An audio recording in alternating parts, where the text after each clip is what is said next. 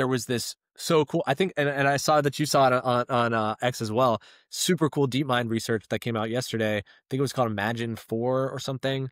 Um, that a vision mod or a video model learned Minecraft, and then an agent played Minecraft in the video model, so it like hallucinated Minecraft and then learned from it and then got better at Minecraft when it yeah. actually got played in the game finally, which is crazy because yeah. that shows you that like, hey, if you define an environment really well and then learn it, then it can learn anything that is taught in that environment. And that's why I'm so excited to focus on this intersection of like building these environments. Like, what does it look like? What are the games, like Dylan said, that can lead to alignment? What does that mean? Like, how do you get more out of it? How do you set it up? How do you have the model perceive that game? Is it the vision side? Like how do you break it down? Like those are some of the problems that that we really worked on. Like what tools do you give the model? How do you prompt it? Because all of those things are infinite problem spaces and have huge impacts on not only how the agents do, as we're seeing with like the harnesses of like even the coding agents,